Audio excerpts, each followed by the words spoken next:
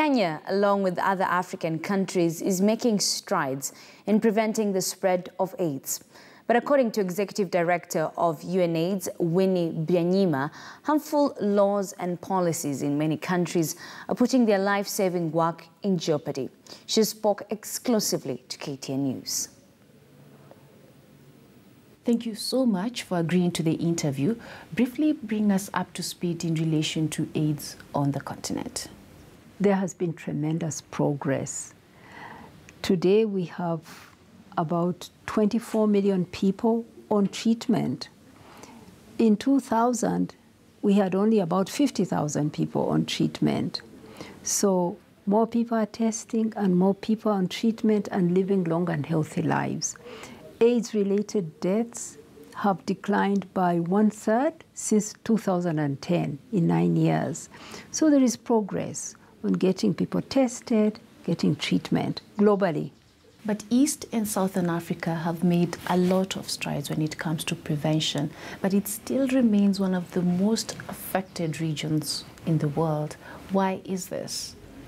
On prevention, we're not making as much progress. Uh, last year alone, 1.7 million people were newly infected. Now that's unacceptable because we know how to prevent HIV infection, but there are many barriers in the way of very many people from accessing the science that can help them to prevent.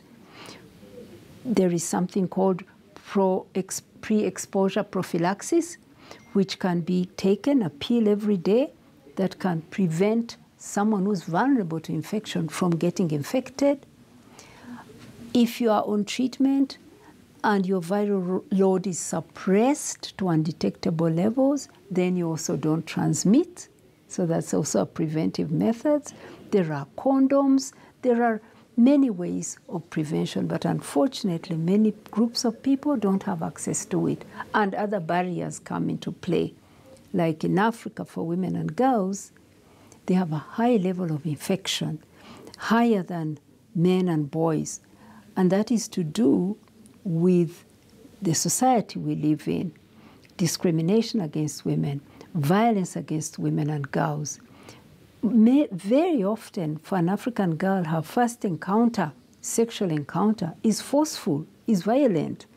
So that lack of control over their own bodies makes them more vulnerable.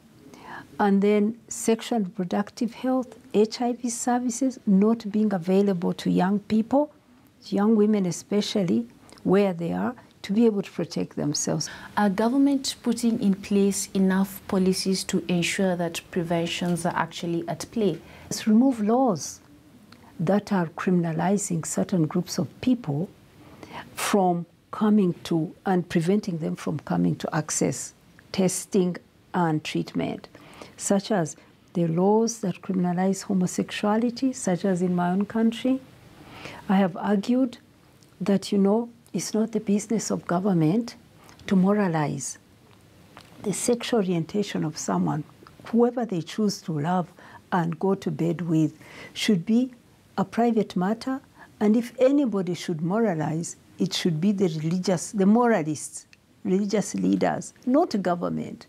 The role of government is to deliver services to all its people without discrimination. For governments, their aim should be we must end this pandemic. We must give everybody their right to health. We must reach everybody with testing, treatment, and prevention without judgment.